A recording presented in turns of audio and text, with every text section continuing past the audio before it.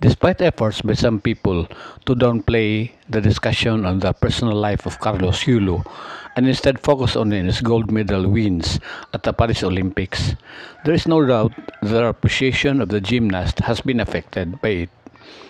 While it would be good to celebrate only his achievement, that could not be done because we would not be painting a full picture of who Carlos Yulo is. People need to know who Carlos Yulo is first before they can fully appreciate his achievement. Those who have been following Yulo's story through the years know where he comes from.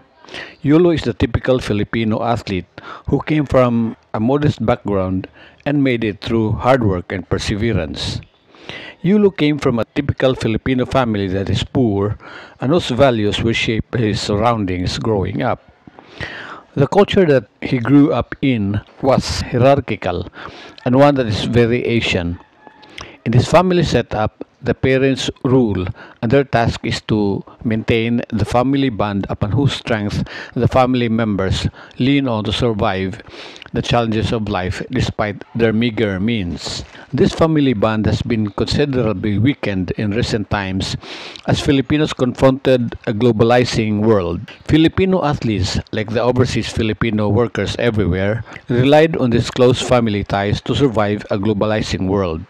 Then Yulo met his girlfriend who was raised abroad and who lived in a culture far different from the one he grew up in.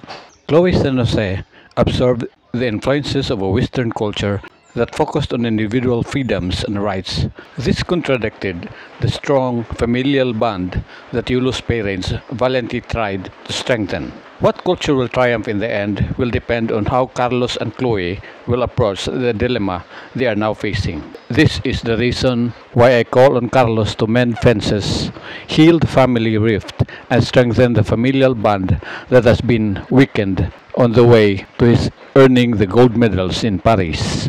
Asian and Western cultures may have a tendency to clash because of conflicting values, but the Filipino diaspora also prove one thing.